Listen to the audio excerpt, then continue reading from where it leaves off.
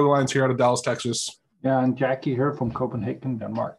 And, and we're on the uh, 58th AutoHotkey webinar. Um, I feel like it's it's a never-ending thing, but um, which it's awesome. Don't get me wrong. And uh, let's go ahead and get get started here. Thank you all for signing up. We had a we had 99. I was so disappointed. I was hoping like we were going to hit 100, but um, maybe next month we'll have 100 registrants. Obviously, we don't usually have that many people show up because it's a worldwide thing, and for a lot of people, this is the middle of the night. Uh, but if you do have questions, we try to have everyone start off muted just because it gets really to be mayhem if we're all trying to talk at the same time. Um, and then Jackie or I will be watching the chat a lot. Um, and we'll, you know, bring up your question. Or if you just say, you know, if you want to put in the chat, you have a question, we'll try to pause and let you ask your question if you'd rather just ask it. yeah.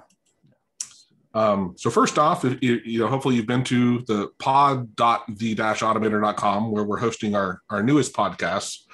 Um, these are the last we, we've done this month. And I think all of these, again, Jackie, since we've switched over to having a list of items and kind of going through them, um, I think our podcasts have been kicking butt. Um, and I meant to let me copy all of this. I'll throw all this in the chat in case you guys haven't heard any of those. Um, the, the moving off the plateau, actually, these two, the tips we wish we'd known before um, learning to code um, and in the stuff to move you off the plateau to kind of help you condense your learning time on learning things. I thought both those were really good. Yeah, absolutely. And then this one, actually, this one, it wasn't a planned call uh, recording really, but um, sorry, Isaias and I were we were talking about URL download to file and web scraping and API calls, and it turned into this really fascinating um, discussion on HTTP protocol and web scraping and where we're trying to go with stuff. So I, I, highly recommend if you didn't watch it, if you're into web scraping or API calls, it's a really good video where you learn a lot of background stuff on on web scraping and things. That it was it was a fun conversation.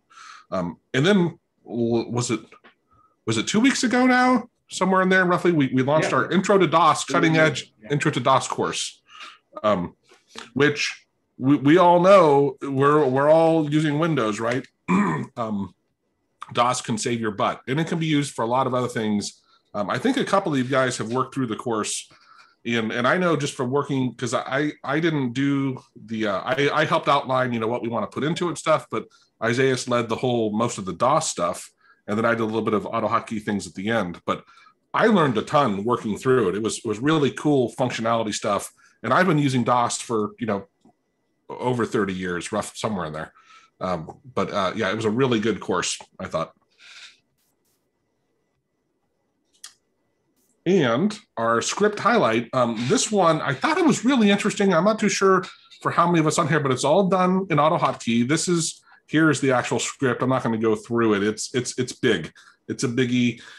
And, and not to critique the guy, but I wrote him and he actually replied back. He said he understood he has a lot of functionality into it. Let me show you. I'm to hit, I think it's Alt C. How do I, maybe, there we go. Uh, yeah, weird. So this is this little cursor highlighter, right? Um, and you can change it. Like I can come in here and click and say, let's switch to focus. And so you can see how it's focused, right? So if we were recording a, a, a webinar perchance or a course or whatever, um, or just a Zoom call and you want to highlight things, right? It's kind of a cool functionality, and you can switch it also to a, um, oh yeah, a, a, a picture. You can choose which picture you want, and you can change the size and the color of everything. It's very intricate, and that was my critique. Was this is really cool, but to me, it's got 8 million things where all I really care about is that like the yellow highlight and maybe the, the color and size of it. And, and that would greatly reduce the size of the script overall. But um, oh God, let me turn that thing off because it's going to drive me nuts. There we go. Okay. So here are the two places where you can get that. Um, but it is it's a native AutoHotkey thing. It's free. I thought it was a pretty, pretty cool thing that was done in AutoHotkey um, that can be very helpful. Yeah. yeah. Have any questions about anything with that? I don't per se have any questions. I, I would like to know, it looked kind of like he was using a timer to follow the cursor. Does that sound about right? I didn't look at the code at all. It was just so big. I I'm like, you know what? I'm. It's one of those like I didn't really feel like stuff. Now, I plan to examine what he's doing, and then we're going to create our own version, um, a much simpler version. You know that that does a lot less. Yeah. So we'll probably borrow was, from it. I was just thinking that maybe a, a mouse hook of some kind would have made it work a bit more smooth. But yeah, yep. you you don't need to go look for it. Okay, yeah. So so let's get now today's webinar. Um, we're gonna it's we're gonna cover Notepad plus plus and it's it's an, I should have brought up the slide. I should have had the data here, but um, from memory, from our AutoHotkey survey that we did earlier this year, uh, it had nearly one in three users used Notepad plus plus, and um, I, I, know Jackie and I we've we've used Notepad plus plus. Don't you know? Both of us have used it. Um, it wasn't our go-to for years. SciTE was our go-to. Now they both rely on us until a Scintilla, um, com- not control. What's it called? Um, component. It is a control. It's a component. Okay. Um, in um, but neither of us were, I think, really big Notepad plus plus users. But um, Isaiah also used to use it, so uh, we had someone else that was going to present on it. He couldn't make it, unfortunately. So Isaiah is going to lead us through this. But going through it, we actually created um, some really cool stuff that I think is actually going to even improve the usage of Notepad Plus even more. Now, my one caveat I want to throw it out there is again, I don't actually recommend Notepad Plus Plus. I would say if you're totally new to AutoHotkey, start with SciTE4AutoHotkey. It's a great, solid, easy to install editor. Um, after that, I would move up to Studio. And then if you're working with more than one person, or if you're distributing code and whatever, VS Code was was a really amazing. That was our webinar last month. So uh, on that note, um, Isaiah, why don't you go ahead and start showing us what you've been doing? Okay, hi. Um, well, before we really start, I do want to tell you, as uh, Joe just mentioned, there are there are a few kind of like little points that you always have to keep in mind with Notepad++. Actually, Joe, do you remember when uh, when you saw when it was released? It was a 2003 or something like that, right? So, yeah, right. so, Notepad++, whenever, if you are going to use Notepad++, you have to keep in mind, this is a very old software. And uh, the difference between Notepad++ and other uh, editors is that they're not they're not bringing kind of like the cutting edge stuff to it. They just want to have something, and their idea is small. Um, it is a very small uh, file, but at the same time extremely powerful. So you just have this this compromise between simplicity and how many things it can do, and that makes sometimes it's not that good because there are some things that are not that easy. They're not that, uh, it's a little bit quirky. Kind of like AutoHotkey. It has its own like kind of like little things, right? So let me go ahead and show you more or less uh, what it looks like and you know the basics of it. So first of all, if you go to theautomator.com and you go to on the top page, the editor uh, page, uh, just for Notepad++, and there you can uh, download uh, the editor itself. You have a link to the editor and you have a file here that has all the hotkeys, right? Yeah, I'm sorry, not, not to the, well, yeah. If you click That's here, it's gonna tell you, yeah, it's gonna tell you, take you to the download section, right? But you have uh, a PDF file with all the hotkeys available, the default ones, right? We have some configuration files for AutoHotkey here. And we have a little script that we were testing today, right? And so for now, I'm just going to download the configuration files. Let's go ahead and download that. And the help launcher, I already have it, so I don't have to download it. But anyways, let's just go ahead and get it from here. Now the download here, obviously we would get the newest release. One big thing that I would like you to keep in mind is that uh, I would uh, really recommend you downloading the 32-bit version instead of the 64 instead of the 64-bit. And it sounds like, what, why would you do? Well, the thing is that, uh, again, this was, this software is from 2003, and there's a section that has to do with plugins that was developed for the 32-bit version. Most of the plugins that are there are not available to the 64-bit version without some modification. So for that reason, you lose a lot, of, a lot of functionality that you might otherwise have had. And I will show you at least one of them. Uh, you can download the installer, portable versions as you want, but let's go ahead and install it. Now, the XML files that I downloaded before, the configuration files, is kind of like an XML file that we're gonna get. We're gonna see. Let's go ahead and modify this a little bit. There we go. with finish. Now, as soon as we install it, right? The first thing that I would do is just open right there where you are, Control O, so that you have the list of files that are on the Notepad++ folder, because you will need to move some things there. So let's go ahead and try to open this, this folder um, directly on, on Explorer. Let's just do that. Right, so I have it there. Now I have here the XML files that I was talking about. Those are two files that are here in the configuration files.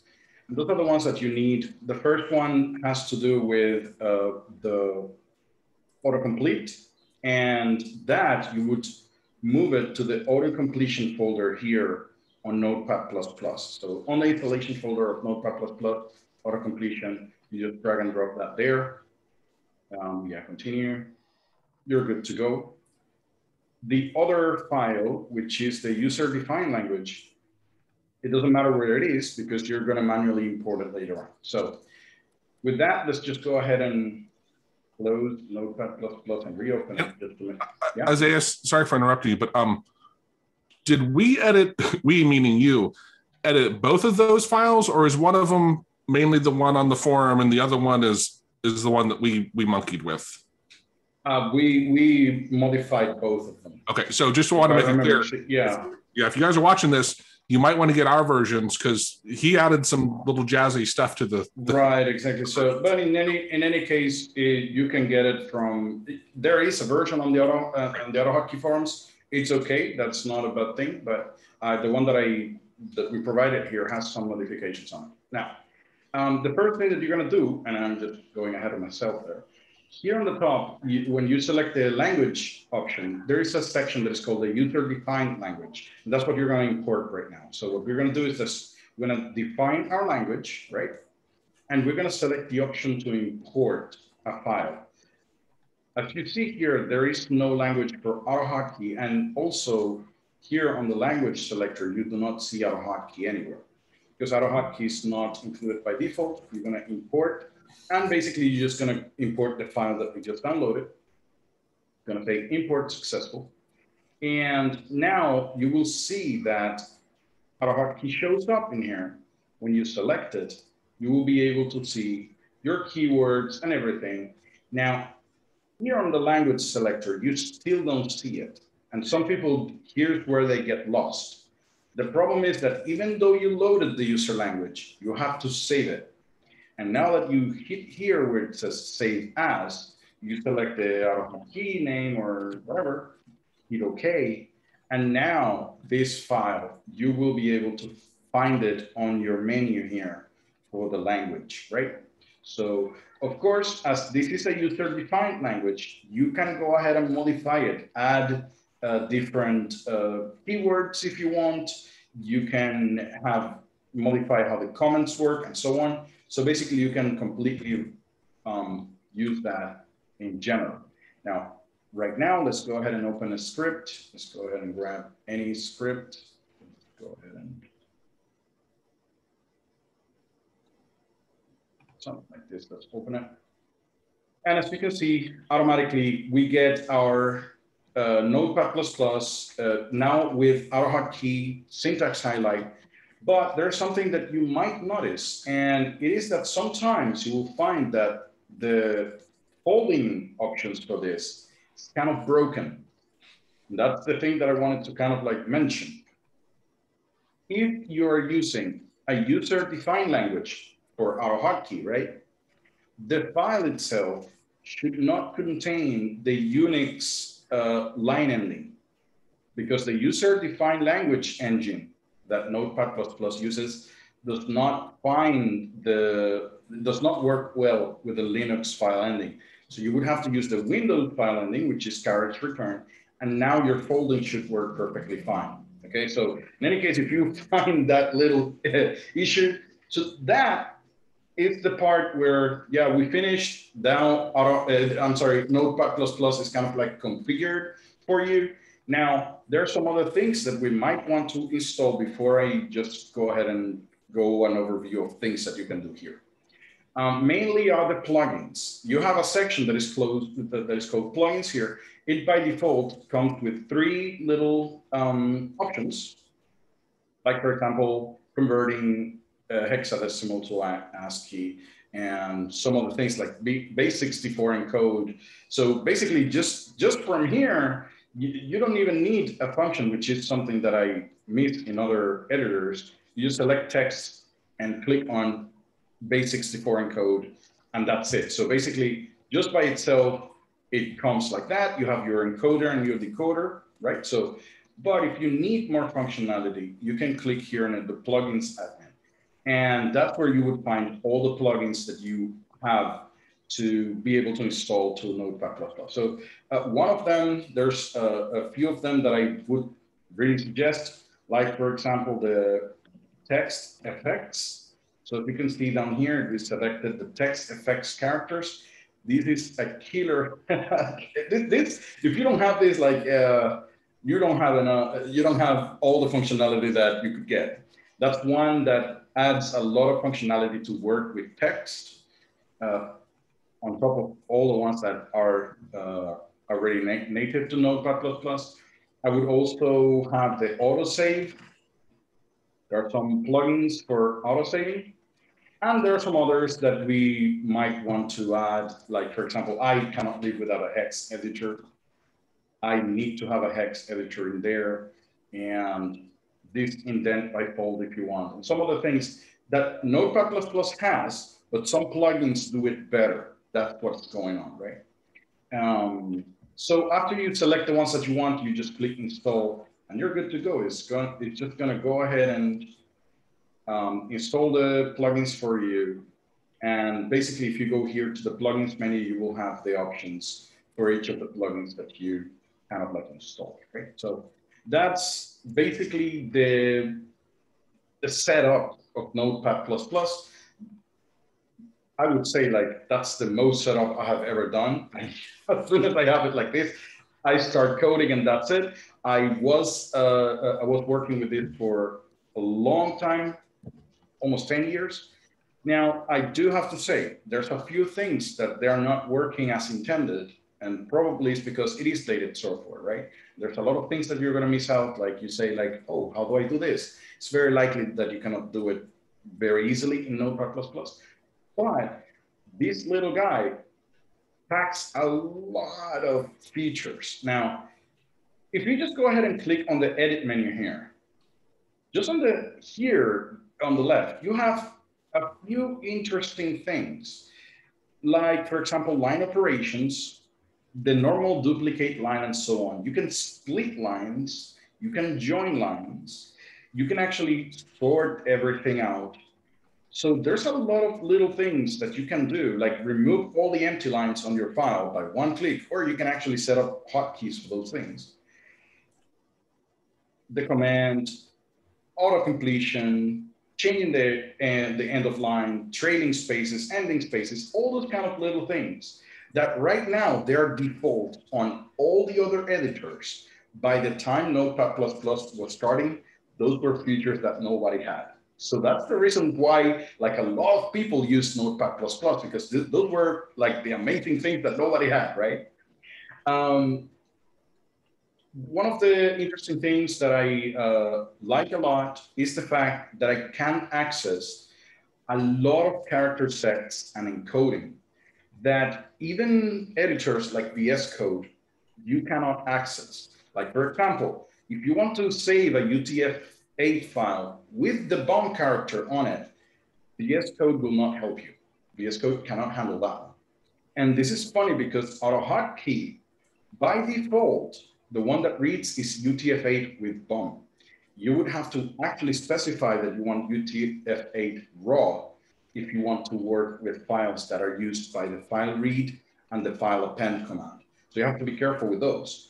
Now, as I mentioned, in other editors, you might not have access to that. Well, this editor from 2003 actually handles it just fine.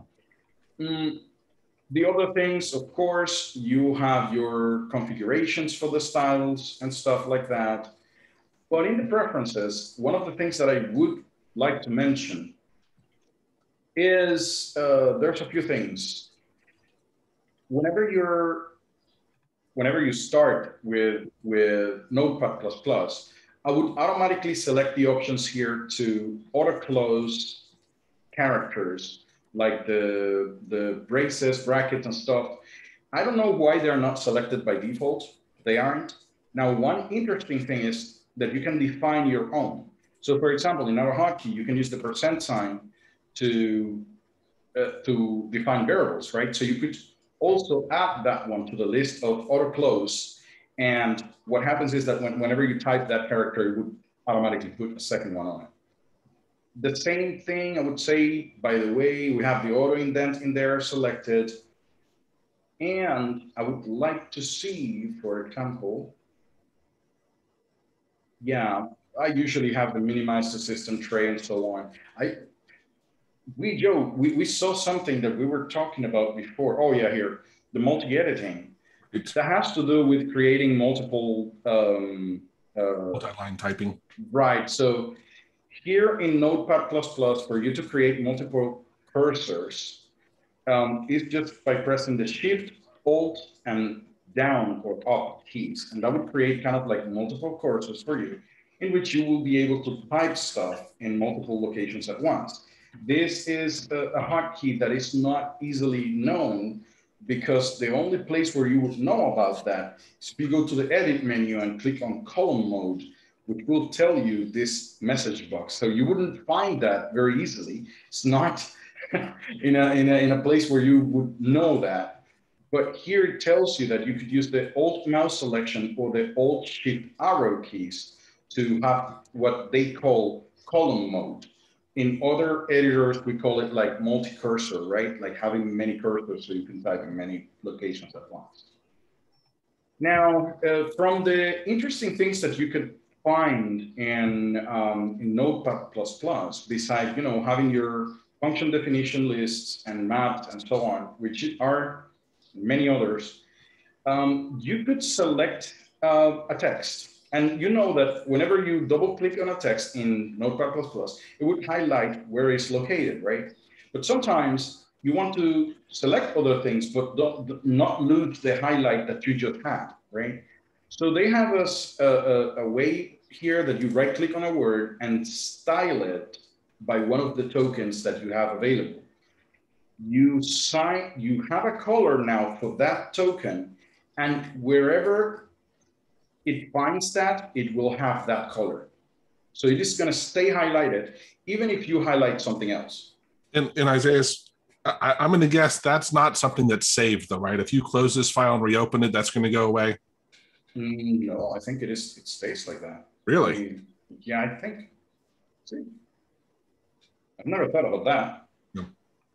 That seems like something to me that it's temporal, right? It's. Oh, right. Yeah, it is temporal. I've never thought about it. Right, right. yeah. Now, in any case, we do have uh, different tokens, so you can actually highlight many things at the same time. And basically, it's just for you to, if you're kind of like looking for something specific in your whole code, that makes it easier for you to do it. Beside the other finding functions that you have, again, you do have your finding files, replace and stuff, but you have this section here to mark. And this is interesting because you can find something on the file, mark all the lines, right? And you can actually perform actions on them, like bookmark those lines. Um, and now you can jump to all the bookmark lines instead of having to find them manually, right? So there was a lot of little details that this thing had previous to everybody else that now became the default for everybody. Now, of course, uh, you would have something to start recording macros and stuff like that.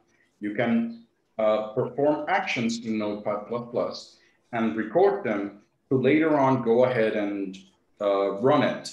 There is a specific macro that comes as an example, which is trim trailing space and save. So it removes all the trailing space on your on your file and saves the file. So it is just kind of like an example of a macro that you can create. Of course, you can do whatever you want and you can assign hotkeys to it, right? Now, this thing, you can also run files. You can select the program to run, you can also tell the script, uh, to tell um, Notepad++ to run the current file by using uh, quotation marks, using this notation to denote a variable, and then you use full current path. And that would give you the whole path to the current file for you run it. Now, that's not really that intuitive. There are a few issues, especially when you're running with AutoHotkey, because they include files here. You know that they depend on the current working directory, which is the file. But this run command will execute it with a different environment. So you will have issues with that. And that's the reason why I do not use the run command any longer. But one of the interesting things that I can do with this is to kind of like select the help file, the AutoHotkey help file, for example, and have a hotkey to open it because you can select any type of uh, files, any type of executable files, or I think even the, you can select any type of files if you want. And then you save that as a has, and you can save a hotkey for it. For example, let's go ahead and Control Shift six. And now that will stay on my list of things that I could run automatically. As you can see here, test would be uh, using that hotkey to run whatever I set it up to. And as you can see, they already have some uh, interesting, interesting selections here, like to open the PHP help or the Wikipedia search or some other things, right? So basically you can modify the run command to whatever you want. Now, I will tell you that is not as simple as it looks to get it to work at once, right? It is uh, a little bit tricky because it is running on a different environment than what you might expect. It is going to start on the on the Notepad++ file, so, uh, on the Notepad++ Plus folder. Um, so you would have to set up the environment and do other things that are a little bit trickier. But in, in, in any case, again, this is a quick and simple editor that as uh, doesn't take much space, and that's the beauty of it. It's very simple. You just enter, you can start coding right away. Let's let's walk through. I I got a list of stuff, right? Let's walk through some of these. Um, so for running, which you already covered, kind of that, but you could there was another way to run the stuff, wasn't there? Oh, just oh, when just, you say run, run, no, well, we would be with a, it would be. Oh well, we tried with a with a plugin. I think it was. Oh, that's we had this. Yeah, so it was like a run. Do, do me a favor though. Go, go back to the other the run and paste the the the built-in notepad variable you know that you had just so people can actually have the real text in case they want to um oh, try it. right okay so you mean hold on so let me see hold on all right so you mean the yeah the dollar sign right yeah. so that's full current path will be the variable that you need. And so if I do that, if I try to run it, you will see that I get an error on AutoHotkey. So it tried to read the script, it tried to run it, but I have an include problem because it's trying to include a library that does not exist because it's trying to run the script from the program files notepad++. But anyways, you can actually specify the current full path of, of whatever you have open there. The only thing is that I will not get into how you can set up the environment to run from the current script and so on.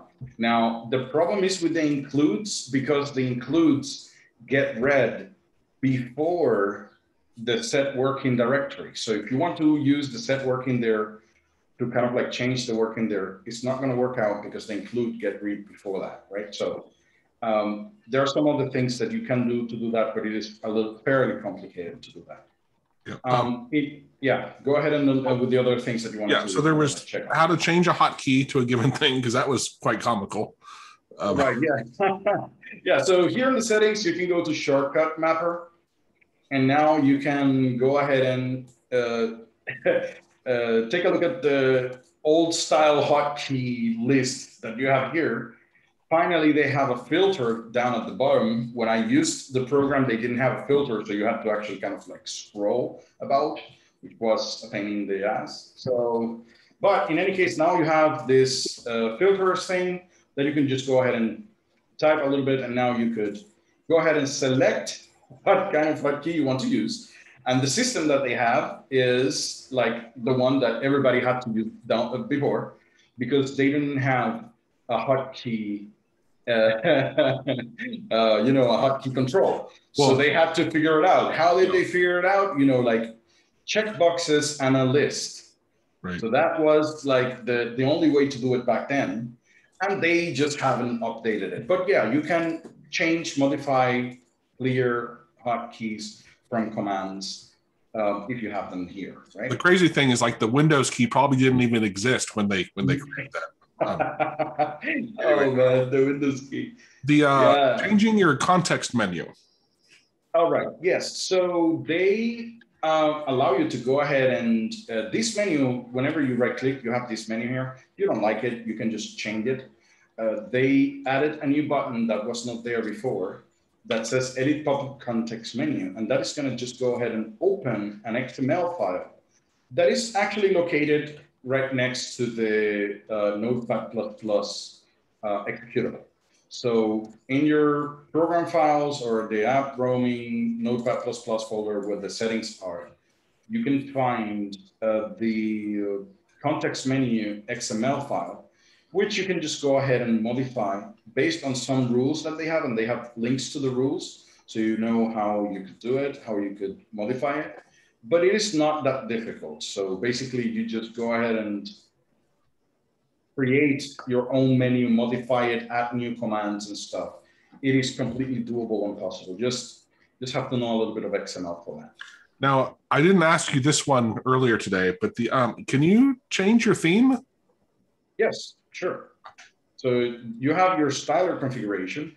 Now they have a theme here for different colors right? So you select different weird stuff, right?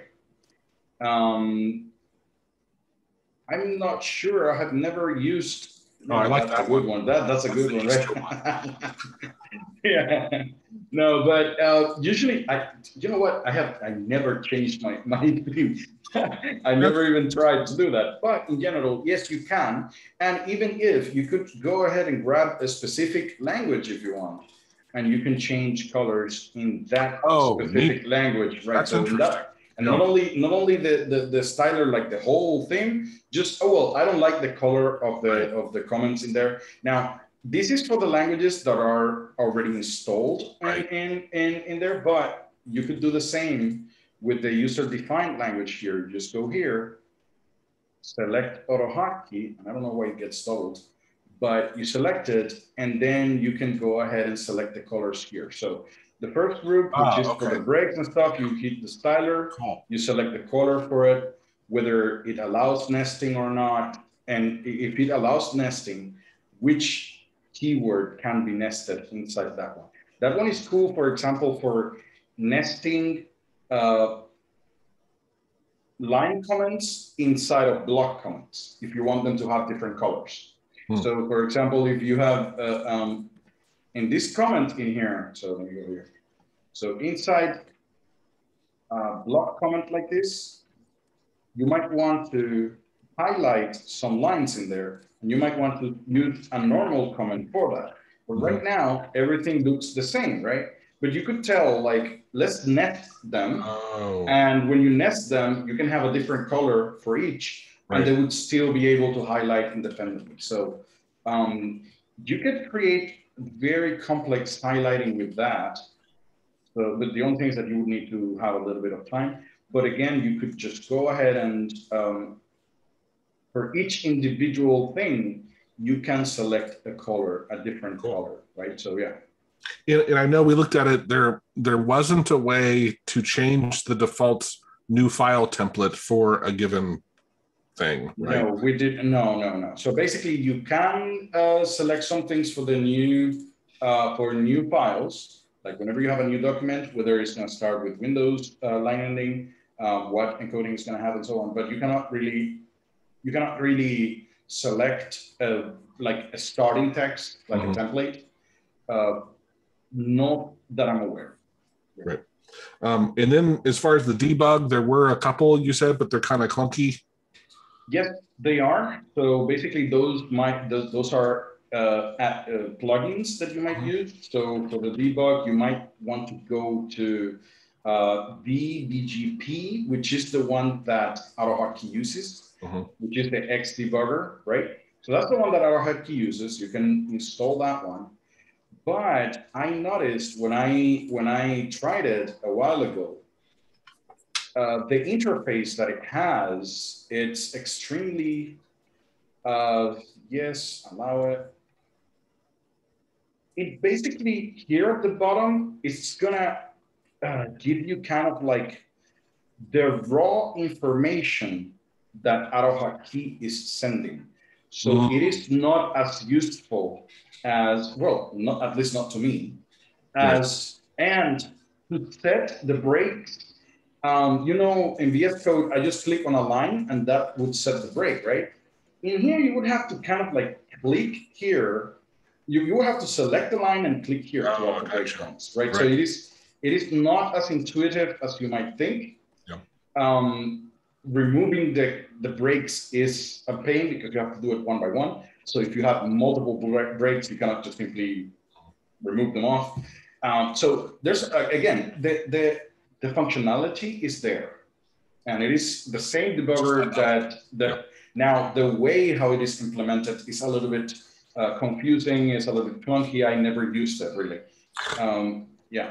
Now, now let's actually show them the one that really, really caught me by surprise because, and I looked also, I didn't actually tell you this, as is when when you were doing some stuff, I was looking at the AutoHotkey survey to see Okay. Yeah. are people who using Notepad plus plus are they people have been using AutoHotkey for ten plus years, you know, or is it new people Yeah, or yeah. what? It was all over the board, so it's new people and older people. Oh, SciTE wow. actually had it was like the oldest people that have been using AutoHotkey, the oldest on average, right? It was interesting. Wow. But- yeah.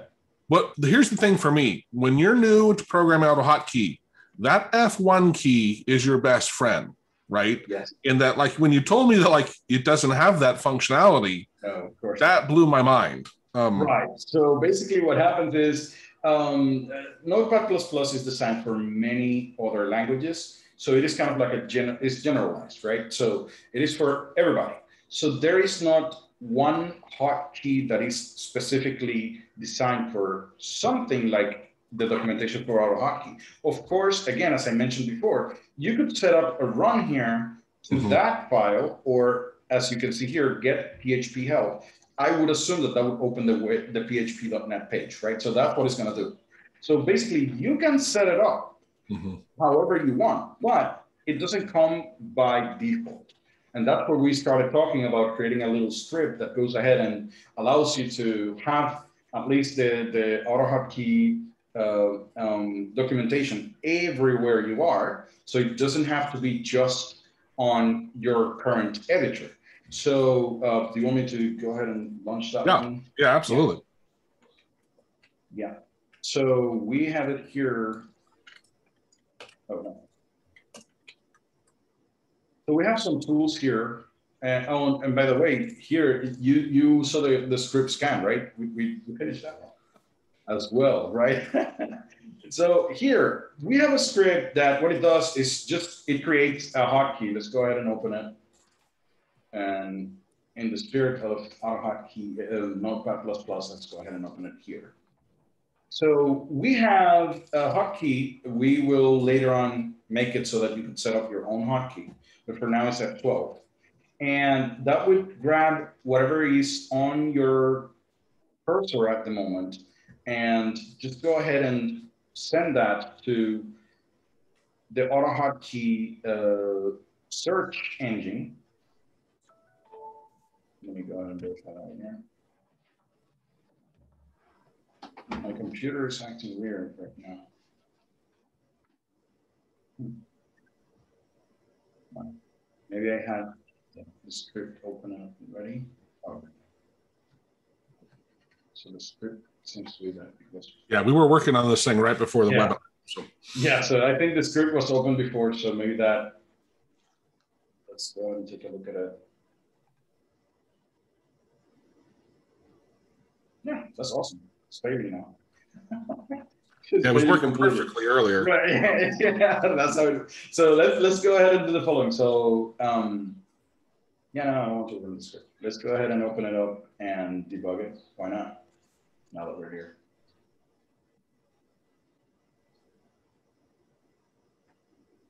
Did we make any changes? No, that was the only thing. Yeah, so if I run this script and hit F12, oh, you know what? That is interesting. There is no, where's my output here? It's not getting there. So for some reason, let's go ahead and do this.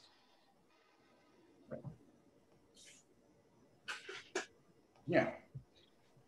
So yeah, the script is not reaching. Yeah, so we'll, we'll figure it out. It is. No, but, it, but yeah, it'll but basically you know do an active search for what you have highlighted. Um, right, but it it did, which was interesting few minutes ago. Yeah. But, meanwhile, we'll while you're working that, let, let, me ask people here: if, Do they have any anything in particular they'd like to, to have demonstrated about, or worked yeah. on? I know Jean was asking just a clarification again. Where do you export those two files to? Was it the um, no, so you don't have to export. Well, the only thing is that you have to, is that the auto completion. Is that where you put them? Um, oh yeah, so the autocomplete folder on. Yep. So yep. If you go to the installation folder, so, so if you go to the program folder, Notepad++, and there's a folder. Yeah, that's where I told them. Auto completion, right? Yeah. But in any case, just go ahead and take a look at that. In the meantime, I just go ahead and if they have if they have any questions, just go ahead and ask. In the meantime, let me go ahead and verify.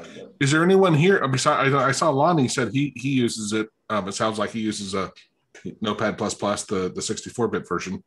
Um, right. But is there any anything in particular that anyone you know also wants to highlight that they use that they like about it? well, by the it, this is so old that I don't know if there's anything new about it, like that people might like. So, well, you know, we talked about earlier. It, it the, the not compared to Studio, right? You can open a hundred languages or whatever, right? That's that's a great functionality. It's very lightweight, right? It's a small program, um, and it can open really big files as well. So it, it's it's got those things going for it. Oh yeah, that's for sure. And but but I would say like for example, that, that's where if, if I'm going to be coding on on AutoHotkey, I would rather have either AHK Studio or AHK uh, the SciTE for AHK, right? Right. Because they, they are kind of like devoted to AutoHotkey, while Notepad is more like a general uh, well, editor. And that's my thought for people that are new to programming and especially in AutoHotkey that's where SciTE is amazing because it's so easy to install and it's just ready to go out of the box. Yes, yes, that's for sure. I'm going to tell you something. You have some thoughts?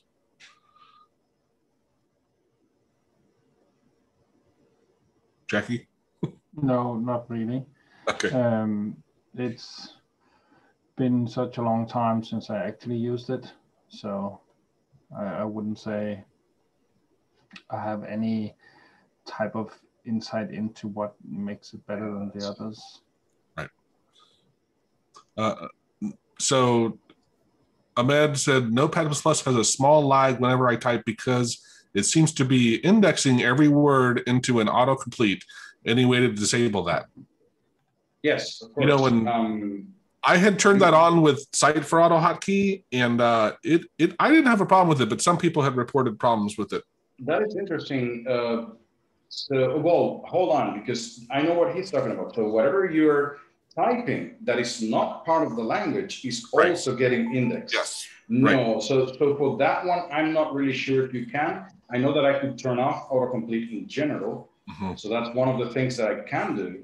So if I go to the settings, preferences, and you go to auto completion, you can either um, let me see something. I know that the word. Oh, here, so yeah, yeah. So only the function completion, maybe. Right. If you put the function completion only, uh, might fix that issue for you.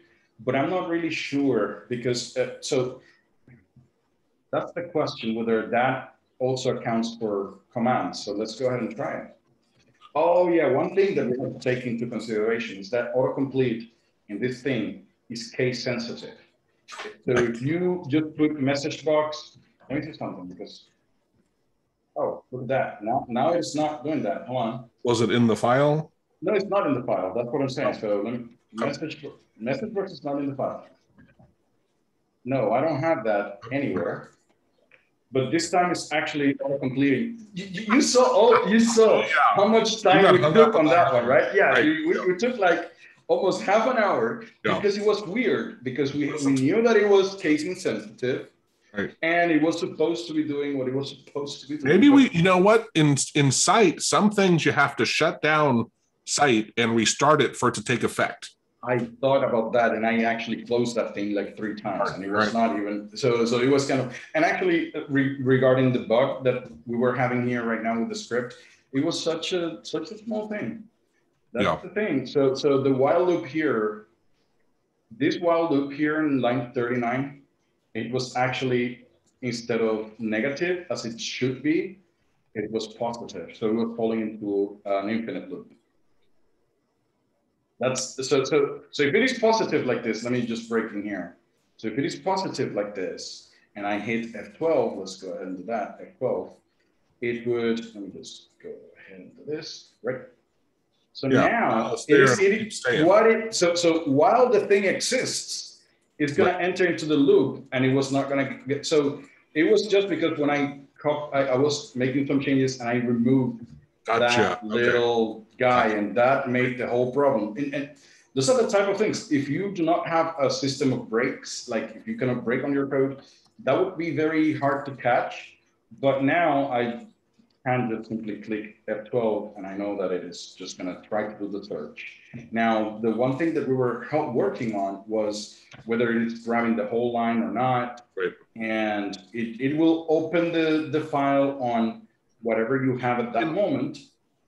And you could be a notepad, not notepad plus oh. So, right? You can no, be, you could be, you anywhere. messenger, right? You it doesn't matter. Anywhere. Yeah. So yeah. you just select, you just put your cursor anywhere, and it would try to grab that one word and it would try to go ahead and open the, the, the help file for that, even if you are, for example, in other places, like let's say, for example, yeah, but it has to be an editor, that's for sure.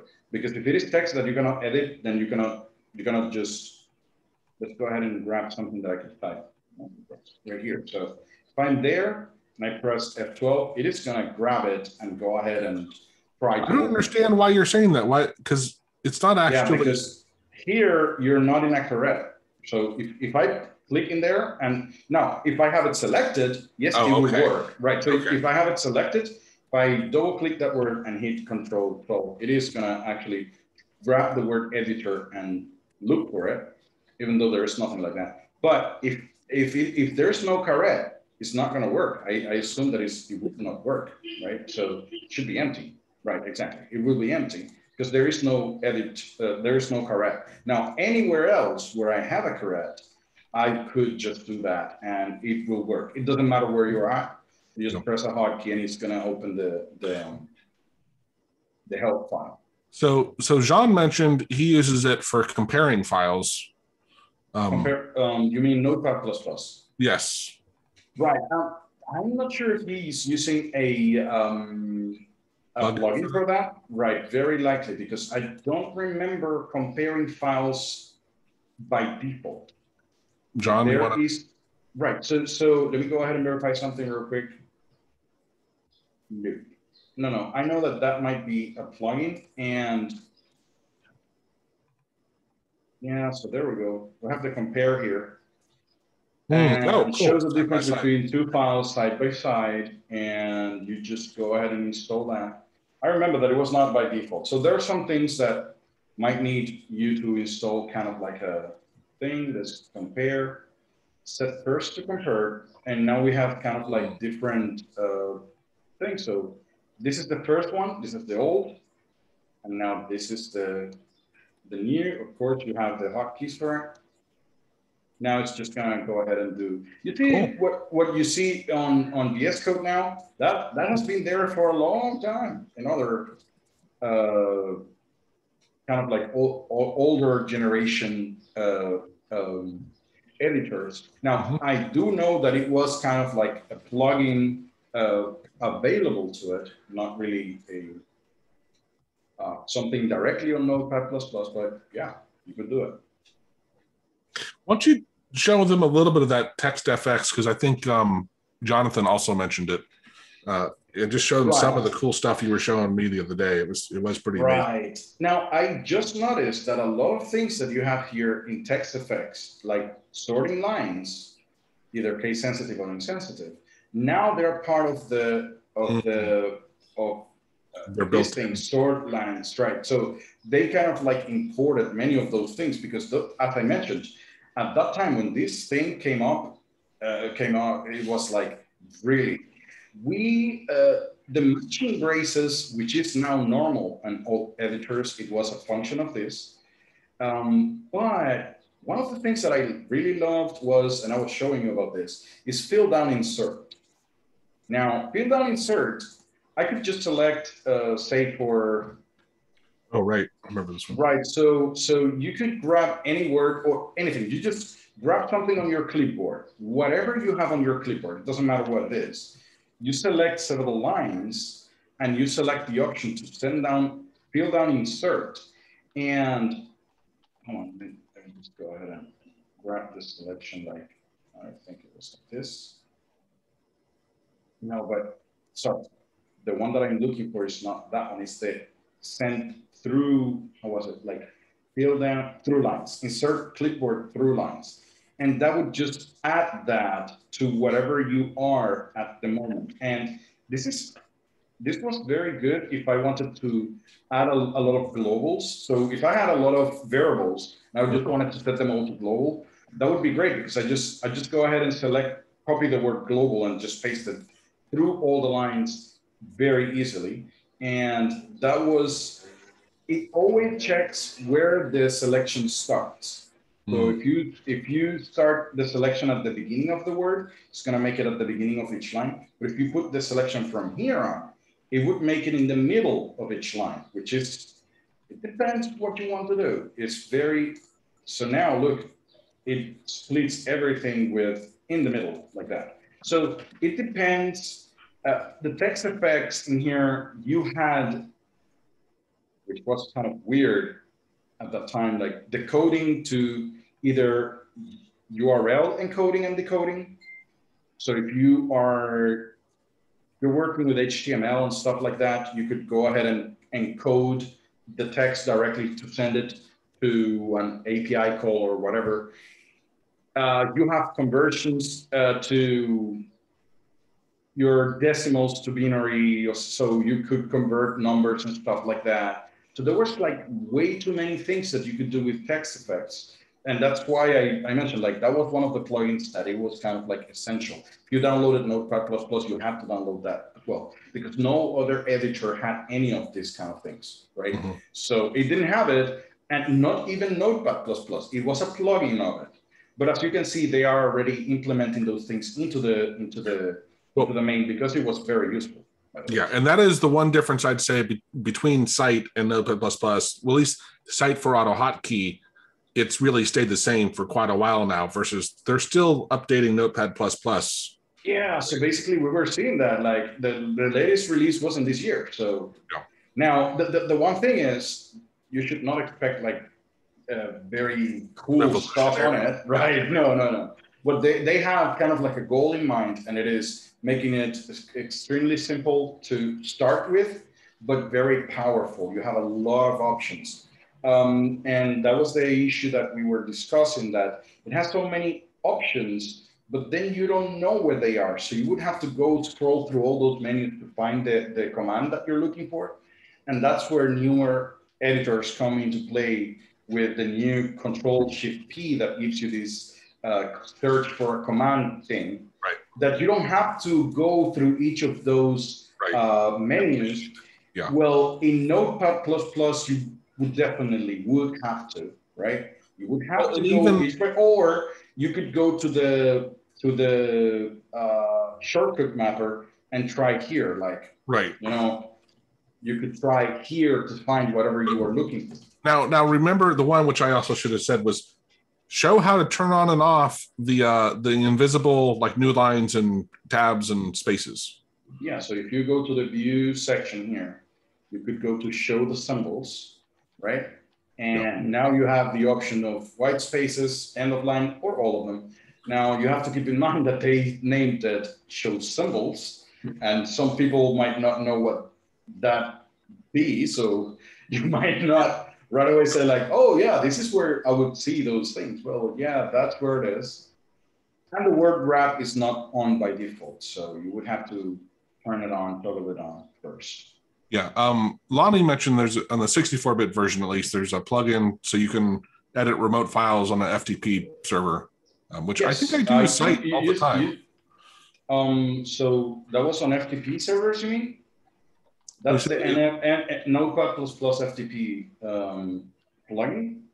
yeah. Because yes, so if he's using a plugin in the 64-bit version, I can guarantee that it is in the 32-bit version. Very, very uh, unlikely that it is not there. So if he has a, a, a, a, a plugin, yes. Now, from there to the other way around. So if you have a um, a plugin on the 32-bit version, not uh, it not always it's not always that you can see it on um, on the 64 version of it.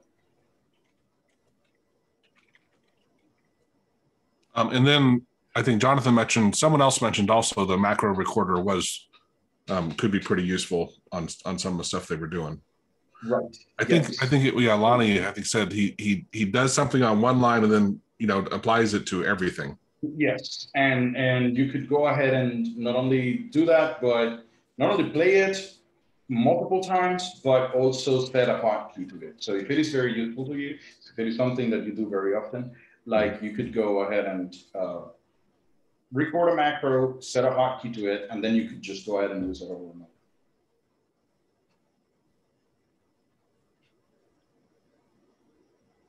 And he runs the portable version of both 64 and 32 bit. um, so yeah, you could, you can use them, that, so again, we were talking about that, that you can download the portable versions. That way you don't have to install anything, right, in your computer. And basically for, for the longest time, uh, I had, I had Notepad++ plus in a, in a USB drive.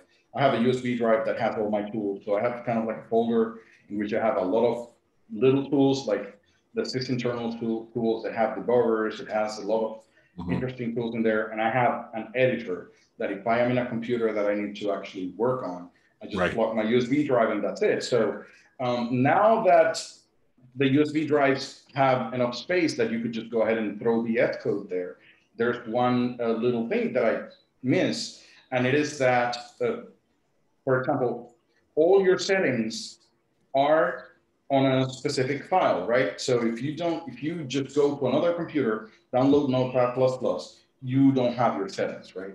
So Right. that's one of the things that modern editors kind of like come into place, eh, eh, eh, that they are used in the cloud. Yeah, in different Google ways. that, right? Right. So there, yeah. So now it is true. Chrome was the one that made me so that everywhere I go, I have my same Chrome, and that made me get used to it. And now when I go ahead and use, for example, VS Code, wherever I go, I have my hotkeys, so I don't have to worry about that. I have my my my thing set up as I want.